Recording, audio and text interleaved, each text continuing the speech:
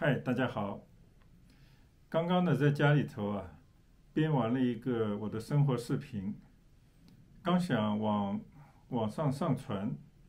突然呢就想到啊，最近的话呢，有不少的这些朋友，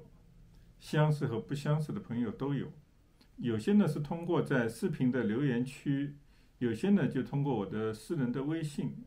还有一些其他的方式呢，向我咨询一些。关于牙齿保健方面的这样的一些问题啊，那大家也知道，其实我在视频当中呢，其实说过很多次，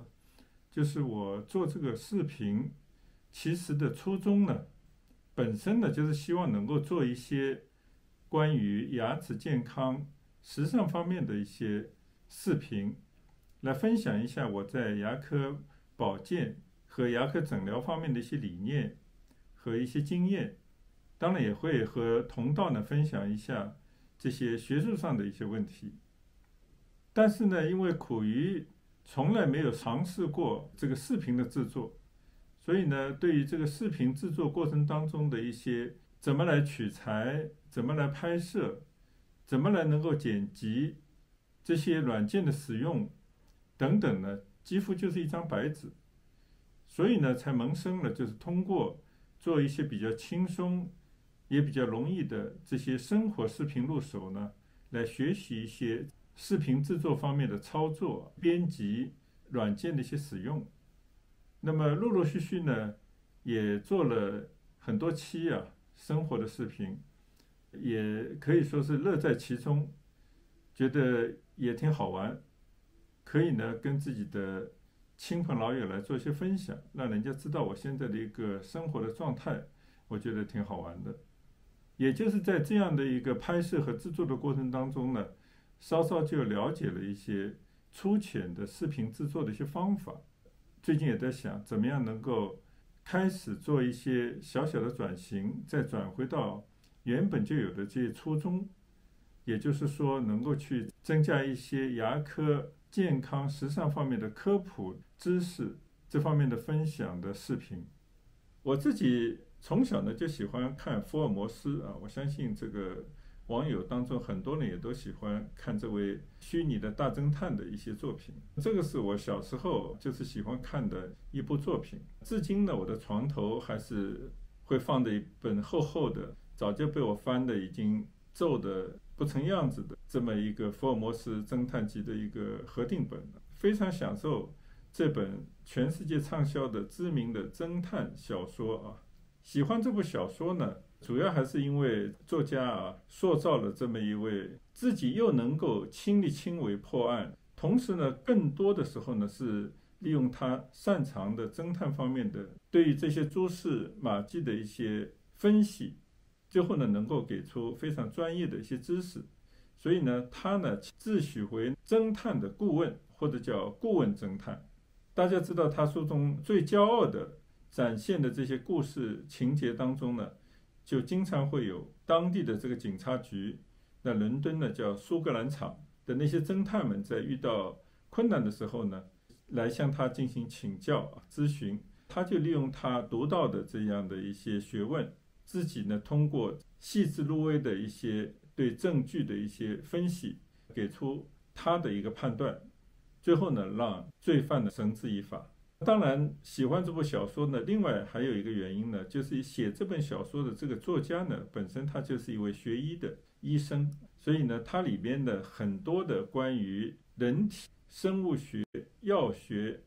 等等的这样的知识呢，是信手拈来。是他自己就是有非常的深厚的这样的一个知识的沉淀，所以才能写出这样的扣人心弦的侦探小说。那我有时候就突发奇想，那我们医生呢，大部分都是实际动手操作的医生。那我自己呢，也是工作到了退休，但是呢，在这个过程当中也积累了很多的这个诊疗的经验。以往的话呢，只能是为个别的一些病人呢提供这样的一个服务。随着自己退休，在享受闲暇的这个退休生活之余呢，自己也在思考，是不是可以把这样的一个知识呢，分享给更多的人，同时呢，也可以为更多的年轻的同行当然包括更多的这些需要帮忙的这些普通的民众们呢，能够在牙科，不管从理念还是方法还是治疗的流程等等方面呢，能够给予一些咨询。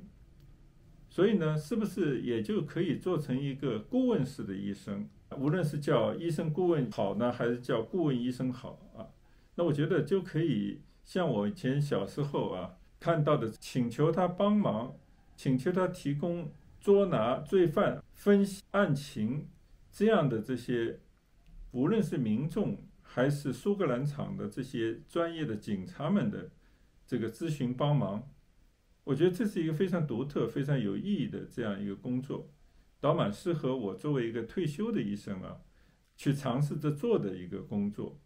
这个就是我在拍摄生活视频、享受我退休生活的同时，其实也是内心希望能够为更多的人带来这些，不管是牙科保健方面的理念，还是诊疗方面的知识。所以呢，我也是在进行了这样的一番思考之后呢，希望能够付诸行动啊。同时呢，也是在这样的一个尝试的过程当中呢，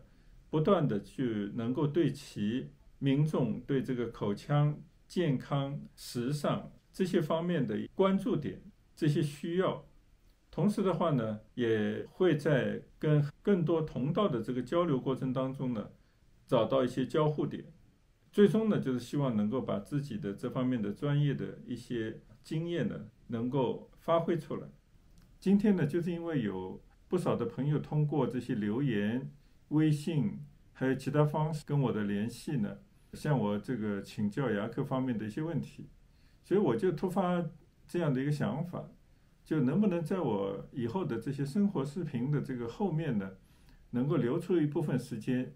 也算是。回馈一下这些朋友们对我的一些支持，回应一下他们的对牙齿保健方面的一些关注。昨天呢，就有一位亲友通过微信的方式呢，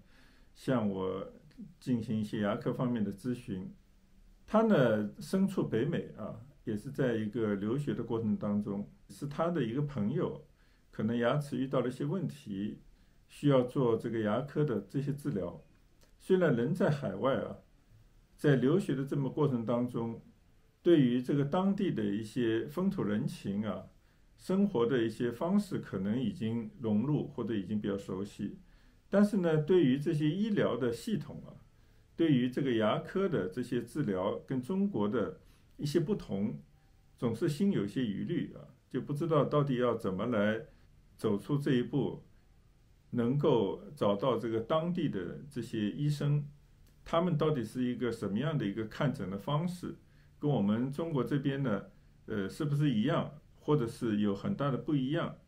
根据他的介绍呢，他的牙齿的这个状况啊，可能需要做根管治疗啊，这样的一个在我们牙科里头也比较常见，同时呢，也是比较呃复杂的这么一个治疗。他就希望呢，我在呃怎么能够在当地找到合适的牙医。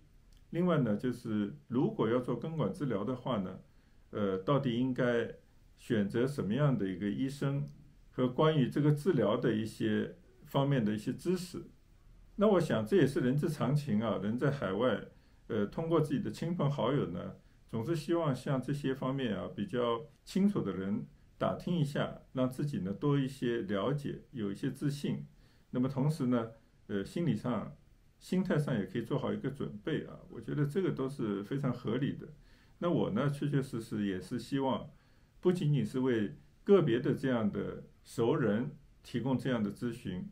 同时呢，也是希望举一反三啊，能够让更多的看我视频的网友呢，在无意当中呢，也了解到这方面的一些专业的知识。那么关于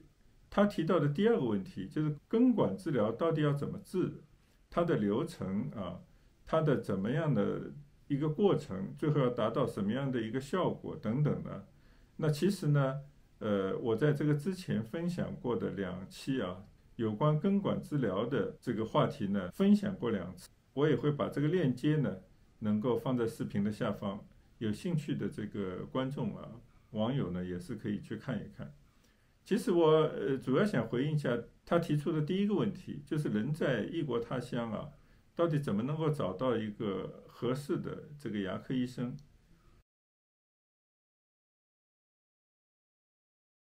那我就觉得呢，首先呢，我们要明白这个中国和西方的这些牙科的医疗啊，它的区别点啊，就它的不同之处。在我们国内的，我们看病的可能很久以来养成这么一个传统的这么一个习惯啊，